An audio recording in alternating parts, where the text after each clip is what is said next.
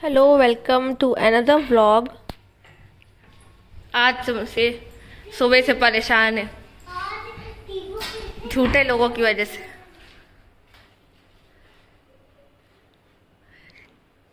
ये देखो, सुबह नौ बजे गए थे और फिर से जा रहे हैं डीएम के पास।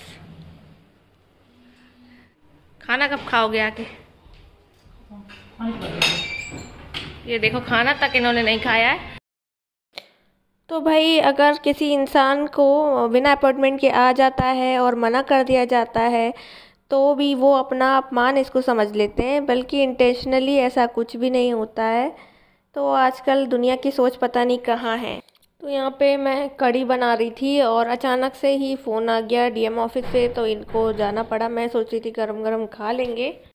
सो हेलो एवरीवन आज जो है मेरे हस्बैंड सुबह से बहुत ज़्यादा परेशान हैं क्योंकि जैसे ये इनका काम है एनओसी देते हैं ये। तो पहले इंस्पेक्शन के लिए जाते हैं इंडस्ट्रीज़ है, होती हैं यहाँ छोटे छोटे कोल्ड स्टोरेज होते हैं तो उनके इंस्पेक्शन के लिए ये जाते हैं। और फिर सब कुछ ठीक ठाक होने के बाद ही एनओसी दी जाती है जैसे कि आप लोगों को पता ही होगा। तो ऐसा था कि किसी ने इनकी शिकायत कर दी है और यहाँ पे वो आए हुए थे और विदाउट अपॉइंटमेंट के आए थे घर में और ऑफ़िस टाइमिंग जो है ख़त्म हो चुकी थी। चार या साढ़े चार बज रही होगी और शायद से मेरे हस्बैंड ने मना करवा दिया होगा। कि मना नहीं करवाया था मीन्स ये बोला था कि आप लोग कल आइएगा।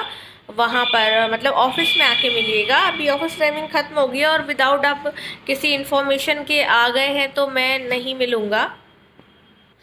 तो बस इतनी सी चीज़ पर ही मतलब बिजनेसमैन से यहाँ पे तो इतनी सी चीज़ पर ही उनको बुरा लग गया। जैसे एक इंसान की टेंडेंसी होती है ना कि आ, हमें सम्मान मिले आगे से और जैसे उनको घर में नहीं बुलाया गया मना करवा दिया गया तो उनके सम्मान को जो है ठेस पहुँच गई।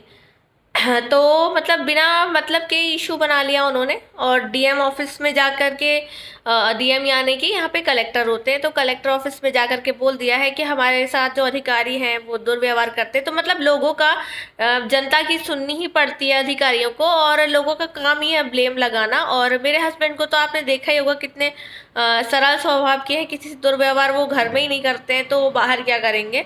तो इस टाइप से मतलब एनओसी नहीं दे रहे हैं, उसी का बदला मतलब लोगों का आप टेंडेंसी देखिए बदला लेने की, कि इन्होंने एनओसी के लिए हमें मना कर दिया तो हम किस टाइप से चालबाजी करके एनओसी ले लें डीएम तक बात पहुँचा दें, फिर डीएम ने बुलाया है इनको तो सुबह भी ये गए हुए थे, फिर शायद से दिन में भी अभी हाँ मतलब दिन में भी डीएम के पास ही गए हुए हैं तो वो लोग वहाँ पे चालीस लोग पहुँचे हुए हैं मतलब पहुँचे हुए थे ऐसे हस्बैंड मेरे बता रहे थे। और वहाँ मतलब शिकायत कर रहे थे कि एनओसी वगैरह नहीं दी जाती हैं ये वो। तो भाई आप पूरी आपकी बिल्डिंग की गलत है। और सिग्नेचर का मतलब समझते हैं ना कि आप लोग सिग्नेचर मतलब कि आपकी आ, वो अनुमति मिल गई है। आ, इसमें नॉट ऑब्जेक्शन सर्टिफिकेट आपको मिल नो ऑब्जेक्शन सर्टिफिकेट आपको मिल गया आपको कोई ऑब्जेक्शन नहीं मतलब कि अधिकारी को कोई ऑब्जेक्शन नहीं है। भाई, जब गड़बड़ होगी तो अपनी कलम फंसा तो कोई नहीं करेगा, सीधे इनकी जॉब पर आएगी। और इतनी सी बात को उनने, बात का बतंगड़ बना दिया। इन्होंने साढ़े विदाउट इन्फॉर्मेशन के किसी भी फ़ोन किए बिना लोग आ गए थे घर पे, मना करवा दिया तो ये उन्होंने अपना अपमान समझ लिया। तो ये कहाँ तक सही है? इसलिए आज हम लोग बहुत ज़्यादा परेशान हैं। नील भैया गए टीपू का ऑर्डर लेने, और टीपू को अपना रोज चाउमीन खानी होती है यहाँ पास हंस रहे हो? क्या कर रहे हो? एक पास में ना रेस्टोरेंट बन गया है, और टीपू कौन से वाली आइसक्रीम खाएगा बेटा? वो आइसक्रीम नहीं sorry noodles chilli garlic. Oh my god Tipu आपको तो नाम भी पता है।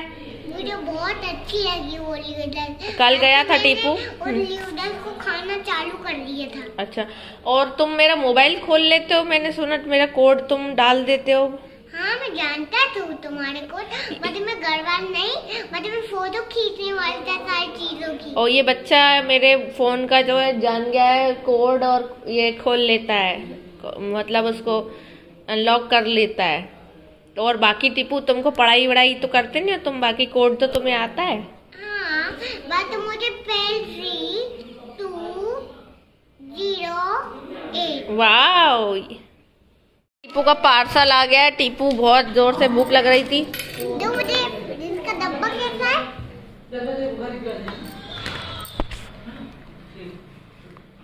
सुनील भैया ले आए हैं। ये आ गई टीपू की चाउमीन। बंट चिली गार्लिक चाउमीन टीपू की आ गई है।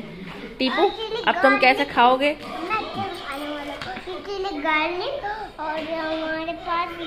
भैया भी टेस्ट कर रहे हैं। कल इनके लिए मैं पैक करा के लाई थी पर सुबह टीपू खा गया। चलो टीपू अब अपना चाउमीन खाओ। और यहाँ बनाने लग गई हूँ मैं चाय, क्योंकि हस्बैंड आ गए थे डीएम ऑफ़िस गए थे, फिर इंस्पेक्शन के लिए एक गाँव में भी जाना था। तो ये हमारी चाय बनकर आ गई है और बस मैं इनको चाय दे रही हूँ। और यहाँ मैं तैयारी कर रही हूँ शाम की पूजा की। ये मैंने प्रसाद बना लिया है माता रानी के लिए। ये आज मैंने हलवे का प्रसाद मैं बना रही हूँ और यहाँ पे दिया और ये रख लिया है मैंने धोकर। और अब मैं शाम की पूजा कर रही हूँ। रात के टाइम की मेरे पूजा का टाइम हो गया है। तो मिलते हैं दोस्तों अगले ब्लॉग में। जब तक के लिए bye bye please like share and do subscribe